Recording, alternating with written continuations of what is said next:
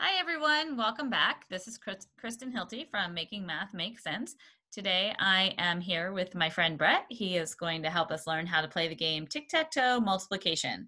So to play this game, you are going to need different kinds of counters.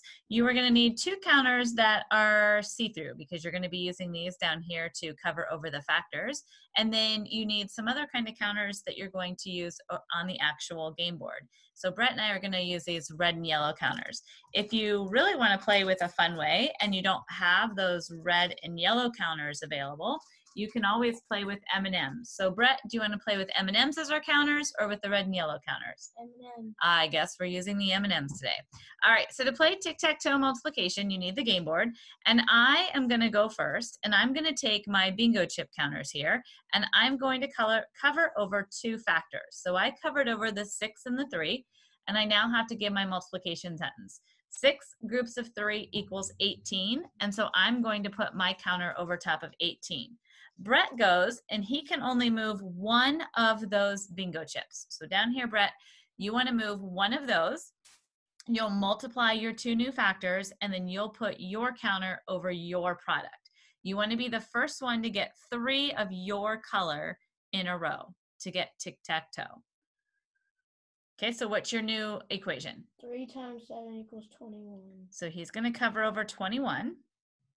Now again, I can only move one of these. So I am going to do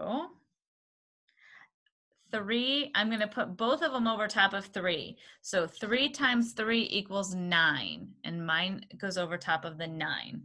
All right, Brett, what are you going to do? Okay. Tell us your equation. Three times one equals three. Always make oh, sure they tell you the equation uh, before they cover over the product. All right, so it's my turn. He has kind of blocked me here. Actually, I think I'm going to do 4 times 1 equals 4.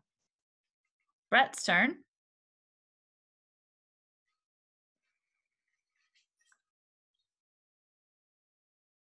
Four times six is 24. Okay, and then I'm going to do four groups of four equals 16 and cover over my 16 and I just got three in a row. Oh, he's a little bit stunned by that one. Tic tac toe me. All right, so as you can see, this is a fun one to play. There's a lot of strategy. Once your kids get good at getting three in a row, change the rules, make them get four in a row, make them get five in a row, change it up, or make them get a whole row or a column. But you can get three vertically, horizontally, diagonally. That's tic tac toe multiplication. Have fun playing, and thanks for joining us.